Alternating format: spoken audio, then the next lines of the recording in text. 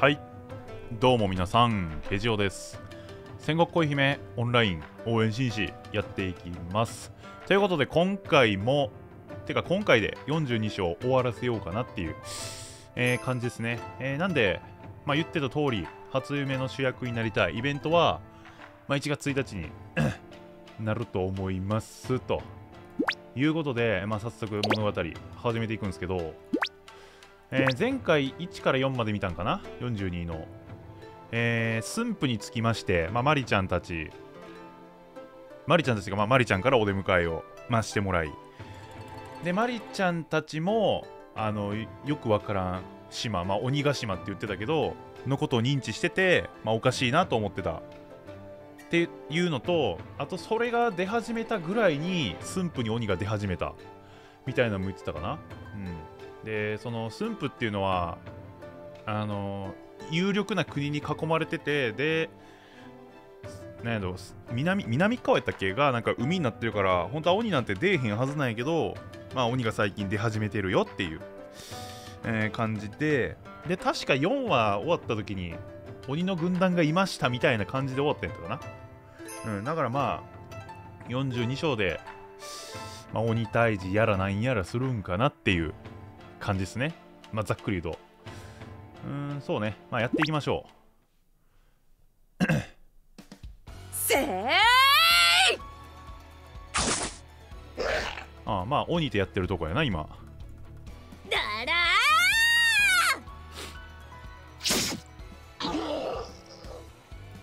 これで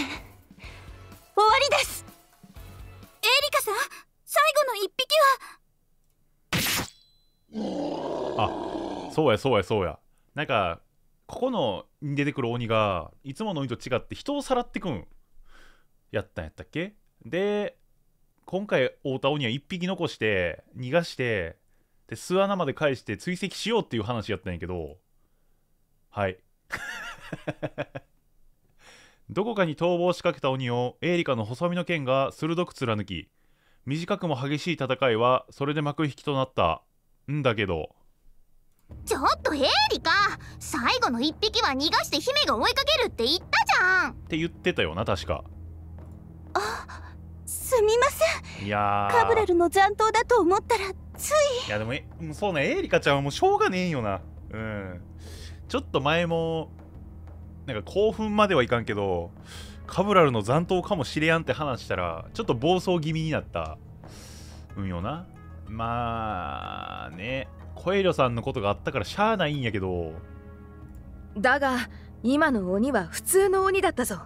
南蛮鬼とやらは波の鬼よりもあ。ずっと強いのだろ？そっかそもそも何番鬼やったかあれ。うん。ああ。それに明らかに日の本じゃない形の鎧も着てたしな。さっきの鬼どもが着ていたのはどこでも見上がる具足でやがったな。うんよくおる鬼って感じやったな。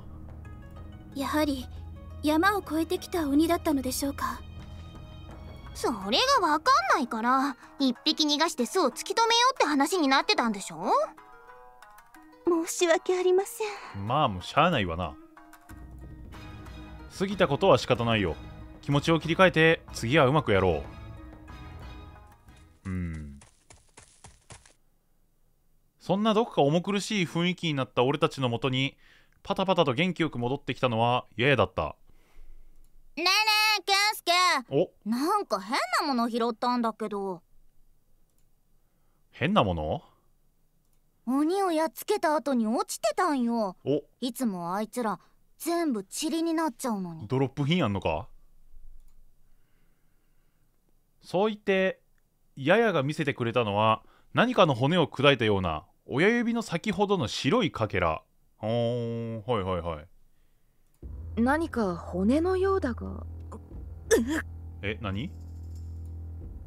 どうしたの春日？あいえ。えー、このかけらから少々よからぬ気配が漂っているように感じられまして。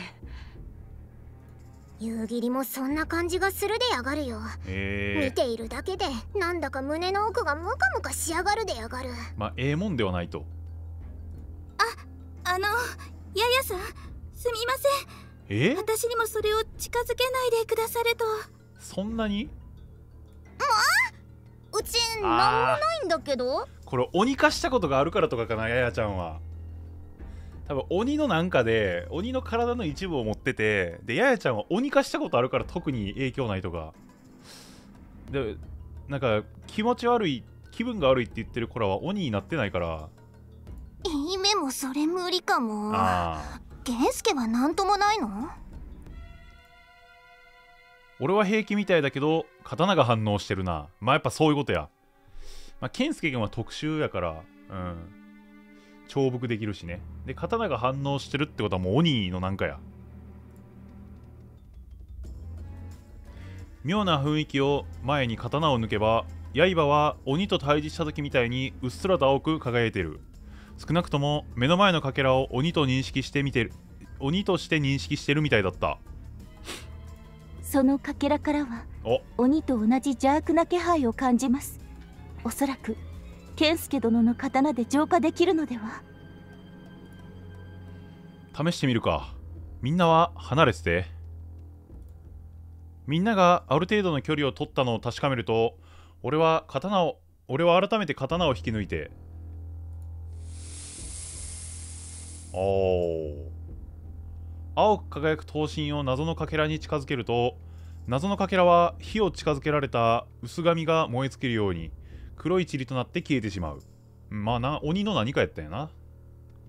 この反応鬼を倒した時と同じですね。うん。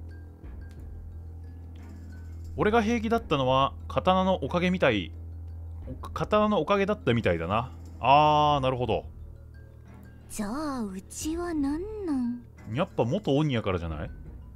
ややさんは鬼になっても人の心を失っていませんでしたからあー、うんうんうん。そちらの性質が関係しているのでは？まあそうやろうな多分。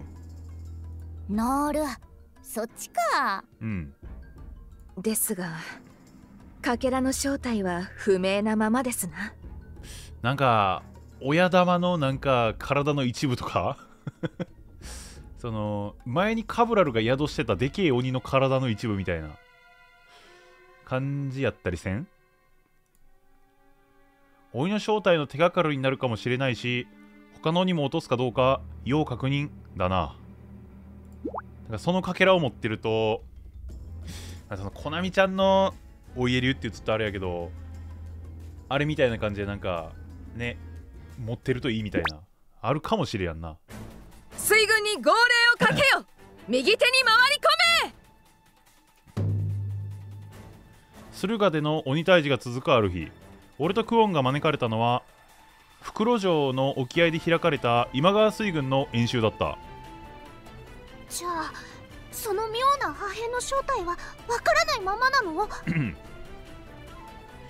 さすが武田の馬場美濃というべきか春日の式で統率の取れた動きをしてみせる水軍を眺めつつ俺俺たちがしてたのは先日のかけらの話だった。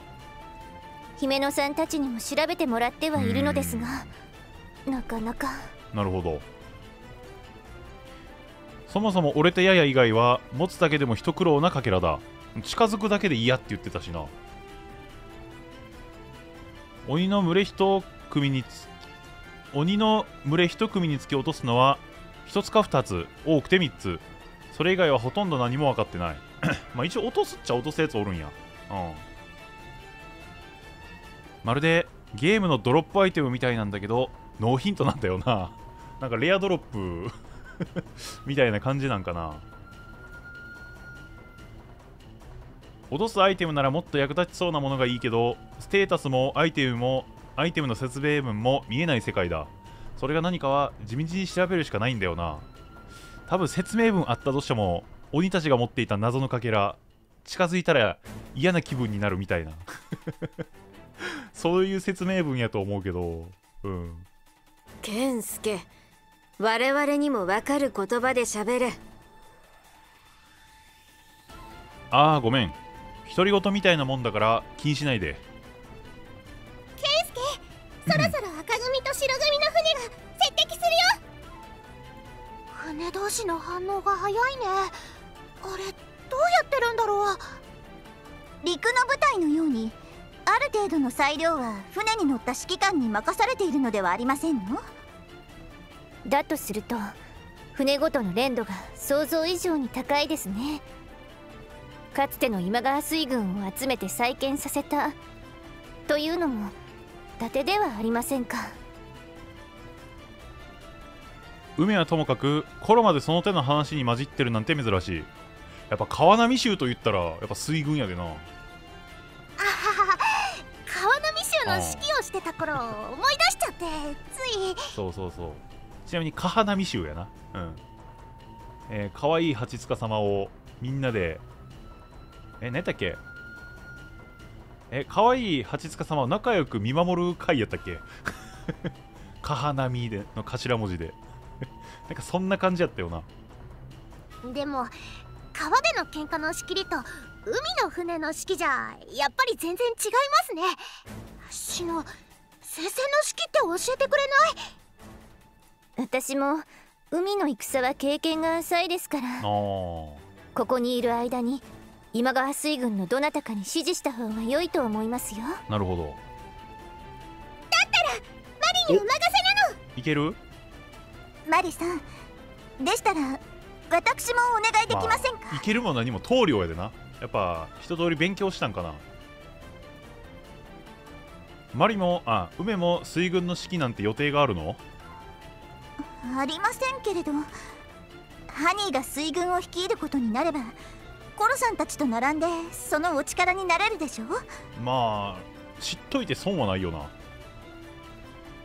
あるのかな？兄上の場合よく分かりやがらん場面に出会うことが多いでやがるからな。確かに。準備するに越したことはないでやがるよ。いきなりなるかもしれんなほんまに。水上船で戦いみたいな。さすが夕霧さん。その通りですわ。うん。実際春日もこんなこともあろうかとで水軍の指揮を学んでいたそうでやがるからな。それで今げ今現在役立ってるわけやもんなそれで今川水軍を。本来なら長岡松平でも破った後での水軍接収を考えてやがったのでやがろうが。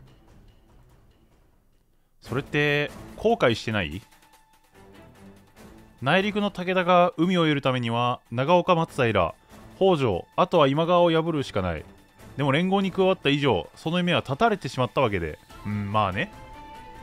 全くないとは言いやがらんが少なくとも今は平穏に庭を通らせてくれやがるからな。うん。民を思えば戦がないに越したことはないでやがるよ。まあそうやな。マリも光や夕霧とずっと仲良くしたいの。うん。まあでも今川はなんか武田と同盟みたいな感じやんな多分。いやで敵対はまあないと思うけど。ここが駿府の。まあ分からんからな。うんその日オルトクオンが訪れたのは駿府の一角に建てられた南蛮寺だった。ああマリがエーリカエーリカ経由で布教を許可したんだって。この時代天使教の布教許可は南蛮文化を迎え入れる契機となり得る。付き合い方さえ気をつければそれは土地の大幅な発展にもつながるわけで。ああはいはいはいはい。そんな不況の象徴南蛮寺を訪れていたのは俺たちだけじゃなかった。うんまあおるわなそらあれエーリカか。まるでいつぞやのようだな。初めて会うた時か。初めてエーリカちゃんに会いに行った時堺でなんかお祈りしてたっけ？確かエーリカちゃん。ああそうやな。そうそれは堺でエーリカと初めて会った時のことだ。その時も彼女は教会で静かに祈りを捧げていて。そうそうそう。健介君が契約っていう言葉を知ってるのに驚いてたんやったっけ？確か。うん。何やったっけ？カズアちゃんに合わせる代わりにどうのこうのみたいな。なんか話してたっけ？あさカズアちゃんと合わせるのをやっていうのを条件になんか南蛮の商人と南蛮の商人を紹介してくれみたいな。なんかそんなんじゃなかったっけな、うん、ざっくりとしか覚えてないけど、うん、まあ誰かを紹介してくれみたいな。また邪魔をするのもなんだな。この先は後にするか。俺たちの気配を察したんだろう。静かに祈りを捧げていたエリカは穏やかな様子で俺たちの方に顔を向けてみせる。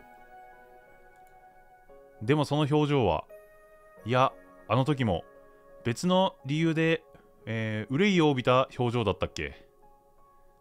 クオン様駿府にいらっしゃるなんて 珍しいですね。マリが南蛮寺を招いたと聞いてな。あ。どのようなものか見物に来た。これ南蛮寺でいいんや普通に。南蛮寺じゃないんや。ずっと間違えてたなじゃ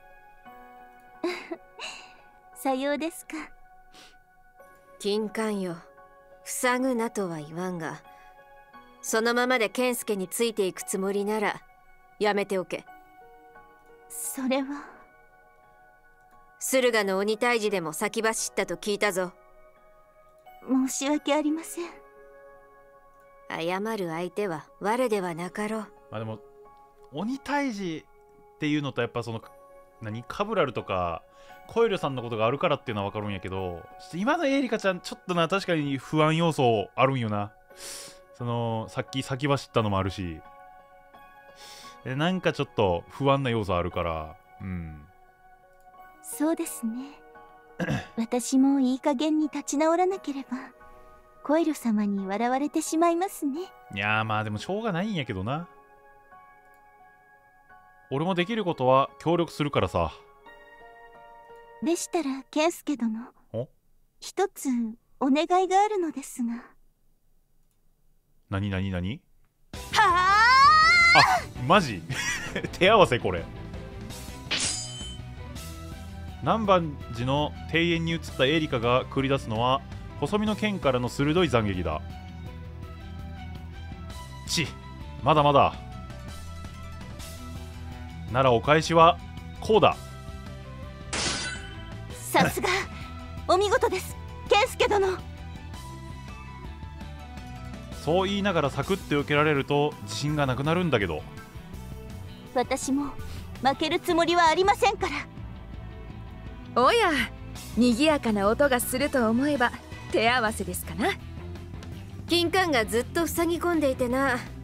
気分転換だ。お前はどうした？まさか天主教に改宗したわけでもあるまい。デウスとやらはともかくとして南蛮の暮らしや技術にはいささか興味がありましてな。ほう奇遇だな。我もだ。ですがより一層興味があるのはエーリカ殿の使う南蛮の武芸ですな。なんか違うんか？武芸ってというわけでエーリカ殿。夫殿との手合わせが終わったら次はこの春日めにも行ってご指南いただきたい。まあでもそれは違うか。はあ、その、まあ、洋風は、え、洋風和風ってわけじゃないけど、まあなんかちょっと戦い方違ったりするんか？もちろん望むところです。夫殿。無論夫殿もかかってきても構いませんぞ。やっぱ刀のけ刀と剣ってそもそも形違うか？なんか、刀っていうと日本刀みたいに片刃みたいな感じ？なんか日本刀みたいな形やけど、やっぱ細身の剣って確かエイリカちゃんなんかさ、なんてやろ、よくなんか RPG とかで見るあの剣みたいな感じかな。ああいう剣やと思うから、まあ、そもそもやっぱ戦い方ちゃうんかな。んそれって2対1ってこと？さすがにやろ、それは。この不死身のババミのえ？それを卑怯とは思いませぬゆえ。あ、エイリカちゃん、ケンスケくんチーム対春日ちゃんってこと？健介金冠お、こやつの鼻っ柱。へし折ってやるがいい。いいんすか？クワンはいちいち煽らないの。武田家く武田家屈指の春日相手に俺一人じゃ絶対勝てないだろうけどエイリカと二人ならあるいは。うん。健介殿。正直春日殿に私一人で勝てるとは。おい健介くん負けそうになるからって麦葉さんに使ったやつやるなよ。俺まだ許してないからな。それは俺も一緒かな。だからさてか春日ちゃんにあれ聞かへんかそもそも。麦行さんはあの時まだ純粋やったから。今今がまるで純粋じゃないみたいになるけど、まあ、あの時は純粋な麦穂さんやったから聞いたけど。まあ春日ちゃんにあれは聞かんか。打ち合わせた刃を引いて2人並んで切っ先を向ければ春日は満面の笑みで俺たちに答えてみせるのだった。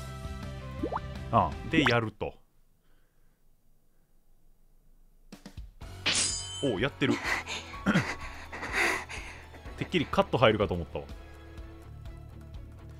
さすが春日隙がない。夫殿エーリカ殿。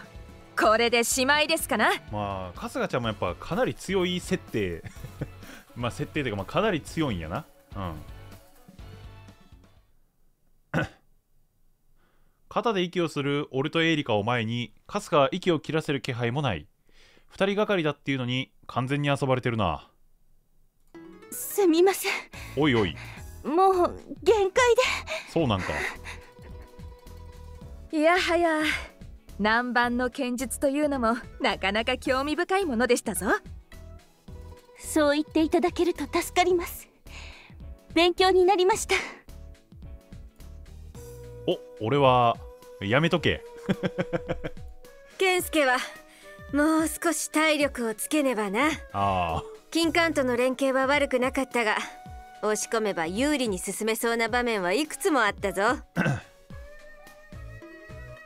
有利に進むで勝てるじゃないんだな。